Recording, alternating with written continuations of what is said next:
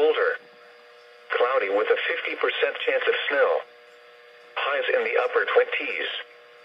Temperatures falling into the upper teens in the afternoon.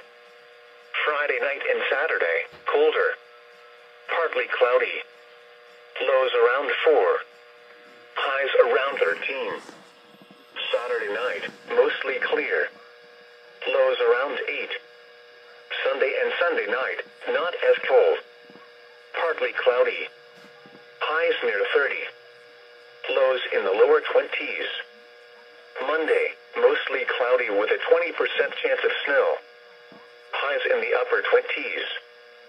Temperatures falling into the lower 20s in the afternoon. Monday night and New Year's Day, much colder. Mostly cloudy.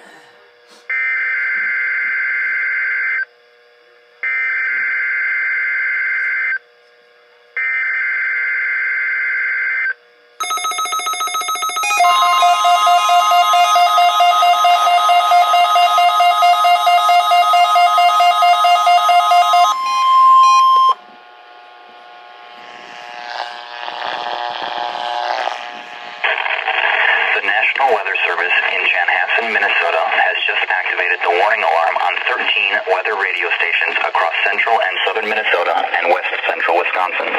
During dangerous weather situations, these specially built radios are automatically activated to warn for the hazard. Tests of these radios are normally conducted by the National Weather Service in Chanhassen every Wednesday at 1 p.m. If severe weather threatens the area near the normal test time, the test will be postponed until the next good weather day. The warning alarm will be watches, warnings, and statements affecting central and southern Minnesota and west central Wisconsin. This concludes the test of the warning system. We now return to normal programming.